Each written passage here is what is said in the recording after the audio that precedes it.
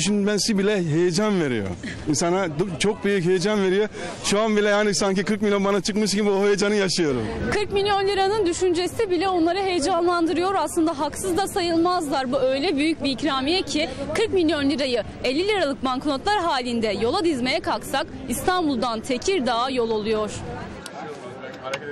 İşte o büyük ikramiyenin heyecanını yaratan milli piyango biletleri satışa çıktı. İstanbul Eminönü Meydanı'ndaki meşhur bilet gişesinin önünde kalabalık bir an olsun azalmadı. Daha biletler çekilmeden hayaller kurulmaya başlandı. Bana çıkarsa ilk işim oğlumun düğününü yapmak. Önce eğitim için sonra geri kalanı çatır çatır yiyeceğim. Bana çıkarsa huzur evi yaptıracağım. Hepsini hiç kimseye vermeden yiyeceğim. Yılbaşı çekilişinde hayatını değiştirme umuduyla uzun yollar aşıp gelenler de vardı. Sivas'tan. Ben Antalya'dan geliyorum bilet almaya. Bodrum Kıyıkışlacı köyünden geldi. Van'da evleri yıkılan depremzedeler de bilet kuyruğundaydı. Ve onların tek isteği, tek hayali sağlam bir evdi. Van'dan geliyoruz depremzedeyiz. Yeni bir ev diliyoruz. depremzedeyiz. 20-25 gün burada kalıyoruz.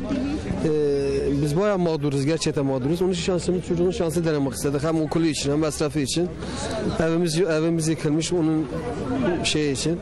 40 milyon lirayla orta halli 228 ev almak mümkün. O, o kadar istemeyiz. Çıldırtır insanı. O kadar istemem.